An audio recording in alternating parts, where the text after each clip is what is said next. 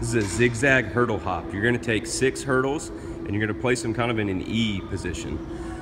First thing you're gonna do is hop forward. You're gonna immediately take a lateral hop outside, back over, forward again. Then you're gonna repeat outside, back over, forward. Then you're gonna jog back to the start. For a lower impact option, you can take more time in between the jumps. So really jump, stick it, focus on landing soft, protecting the knees.